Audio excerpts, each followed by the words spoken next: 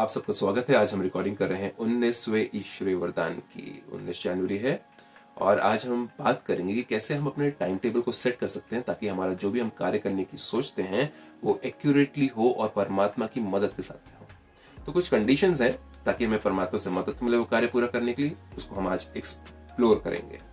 तो परमात्मा कहते हैं, उनके वचनों में, दिनचर्या की सेटिंग और बाप के साथ द्वारा हर कार्य एक्यूरेट करने वाले विश्व कल्याणकारी भव किसके साथ? बाप मतलब परमात्मा, गॉडफादर, अल्लाह, क्रिएटर। उनके साथ। लेकिन उसके क्या करना है? दिनचर्या की सेटिंग करनी की परमात्मा, आज मैं ये काम करूँगा, ये काम करूँगा, ये काम करूँगा, आप मेरे साथ रहना। मेरे अंदर अहंकार मत आने देना, मेरे अंदर ब्लेम मत आने देना, मेरे अंदर घृणा मत आने देना, मेरे अंदर ईर्ष्या मत आने देना, और मेरे अंदर किसी के प्रति भी नफरत मत आने देना। नहीं तो मेरा और आपका साथ छूट जाएगा और वो काम और भारी मुझे फील होना शुरू होगा।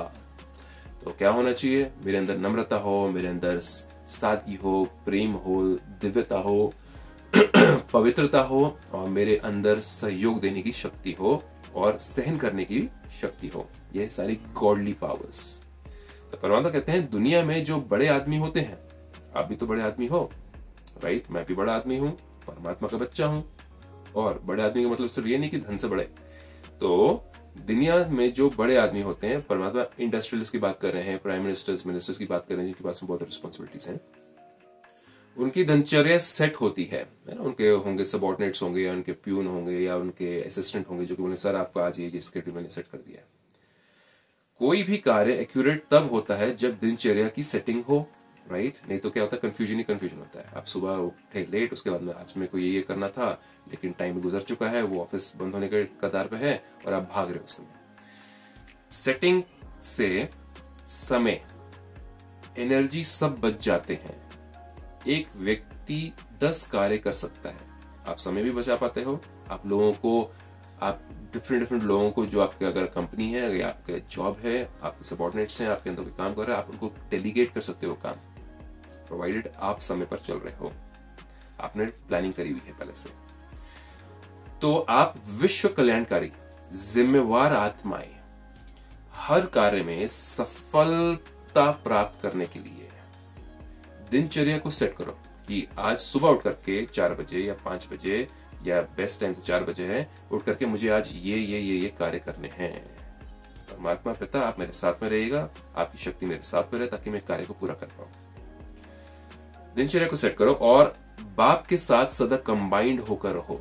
उनके साथ कंबाइंड होने का एक ही तरीका है, उनके जो दिए हुए गुण हैं, जो कि एक तरीके से देखा जाए तो तोहफे हैं, चाहे वो नम्रता हो, धैर्यता हो, पवित्रता हो, साथी हो, सहनशीलता हो, ये सारे गुण हैं परमात्मा के, उनको यूज़ करना है या उनको लेके चलना है, कार्य करने की कंप्लीट तो इंसान क्या करता है? पैसे लेके चलता है कि हाँ किसी को खिलाना हो पिलाना हो तो मैं उसको पैसे देके काम करवा लूँगी परमात्मा कहते हैं, उससे बेटर क्या है? आप गुण और शक्तियाँ लेके चलो और कार्य करवाने की कोशिश करो।